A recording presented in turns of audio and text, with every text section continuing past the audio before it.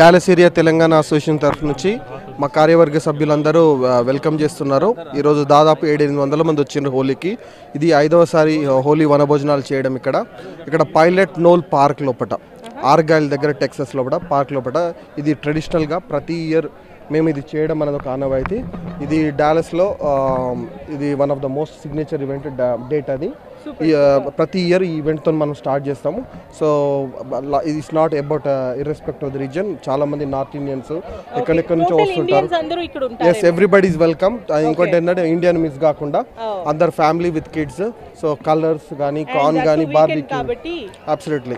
so we did a barbecue and all the restaurants have cooperated us చాలా food ample food ఉన్నది and మేము అంటే expect చేసే కంటే ఓవర్వెల్మింగ్ రెస్పాన్స్ ఉన్నది and we are very happy and welcoming everybody Dallas area Telangana association thank you very much thank you sir thank you so much